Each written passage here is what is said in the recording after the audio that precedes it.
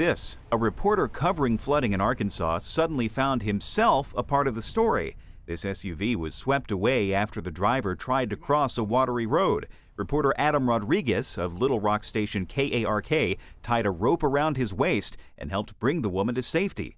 Another man pulled them both from the water before police arrived.